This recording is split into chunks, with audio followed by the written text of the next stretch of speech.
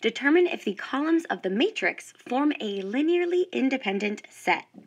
So looking at this given matrix here, let's label these column vectors. Say that's A sub 1, A sub 2, and vector A sub 3. Now, we know by definition that an index set of vectors, say defined by the column vectors of a matrix, vectors A sub 1, A sub 2, and A sub 3, are linearly independent if the corresponding homogeneous equation, so matrix A times vector x equals the zero vector, has only the trivial solution.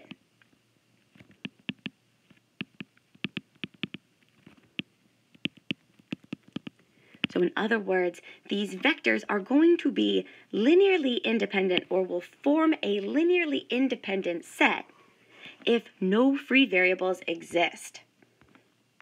So let's check. To check this, we need to row reduce the augmented matrix.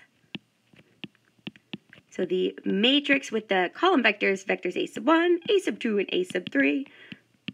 We row reduce the augmented matrix with the zero vector to echelon form to explore or to study what is going on with the corresponding homogeneous equation.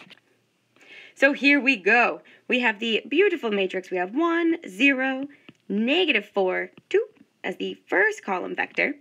We then have 1, 1, minus 3, 1. And last but not least, we have negative 5, negative 5, 0, minus 10. Beautiful. So we want to take the first pivot and use this to eliminate the entries below it. So we'll need two steps here. We'll need to do 4 times the first row plus the third row to attain that new and reduced third row. And we'll also need to go ahead and do minus 2 times the first row plus the fourth row to attain the new and reduced fourth row. So our equivalent matrix will be, so our first two rows remain as they are. We have 1, 1, negative 5, 0, 1, negative 5. And now we have positive 4 minus 4, leaving us with 0. We have positive 4 minus 3, which leave us with 1. And last but not least, we have negative 20 plus 0, which leaves us with minus 20. Beautiful! So next, we have negative 2 plus 2, which leaves us with 0 we'll have a negative 2 plus 1, which leaves us with a minus 1. And last but not least, we have a positive 10 minus 10, which leaves us with 0. Beautiful. So our first column is all set, and we're ready now to move to our second pivot position. And we want to use this pivot to eliminate the entries below it. So again, we'll need two steps here we'll need to do minus the second row plus the third row to attain that new and reduced third row. And then we'll do the second row plus the fourth row to attain the new and reduced fourth row. So here we go, and let's give ourselves plenty of room. So the equivalent matrix will be, now notice the first two rows remain as they are. This is still 1, 1, negative 5, and then we have 0, 1, negative 5. And our first reduction, we have, well, 0 plus 0 leaves us with 0. We'll have minus 1 plus 1, which leaves us with 0. And last but not least, we'll have a positive 5 minus 20, which leaves us with minus 15. And last but not least, we have 0 plus 0, which again is 0. We have 1 minus 1, which is 0, and minus 5 plus 0 leaves us with minus 5. Lovely. And we're so close now. Our first and second column are all set, and we move to our third and final pivot, and we want to use this to eliminate the entry below it. So to do that, if we scale the third row by a factor of minus one third, and then add this to the fourth row, we can obtain the new and reduced fourth row. So in this case, the first three rows remain as they are. We have 1, 1, negative 5, 0, 1, negative 5, 0, 0, minus 15. And now we'll do, we have 0 plus 0 is 0.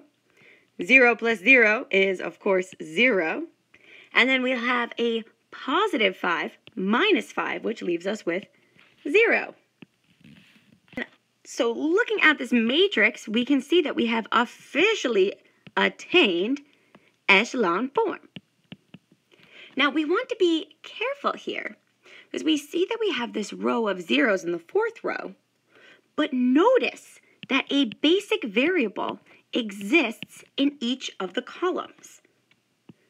So therefore, since a basic variable exists in each column, there are no free variables.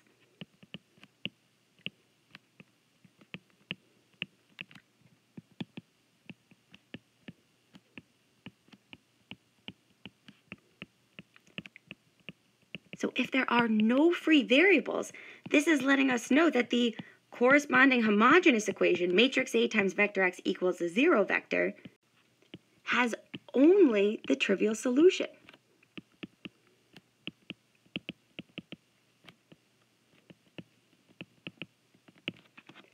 Now, since this homogeneous equation has only the trivial solution, this lets us know that therefore the columns of matrix A form a linearly independent set.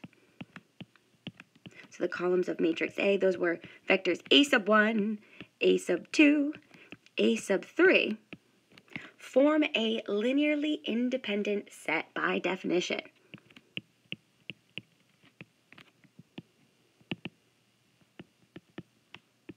And this is our beautiful final answer. Woohoo! So even though we have that row of zeros, since there is a basic variable in each of the columns, there are no free variables, meaning that the homogeneous equation has only the trivial solution. And so therefore, by definition, the columns of matrix A form a linearly independent set.